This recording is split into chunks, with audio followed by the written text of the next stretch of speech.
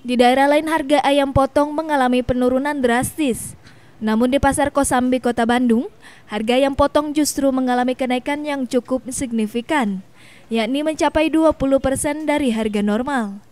Harga ayam potong sebelumnya Rp30.000, kini mencapai Rp35.000 per kilogram. Kenaikan harga ayam potong disebabkan ketersediaan ayam potong di tingkat bandar tidak tetap. Ada kenaikan ini pembeli ada yang mengeluh nggak sih Kang? Pembeli belum ya, belum belum belum banyak pembelinya sekarang sepi.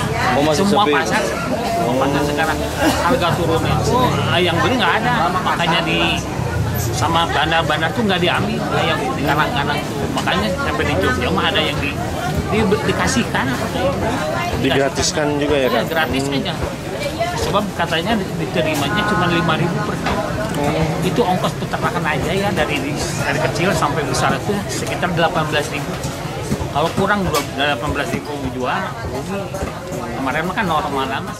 Kenaikan harga ayam potong telah terjadi sejak dua hari lalu.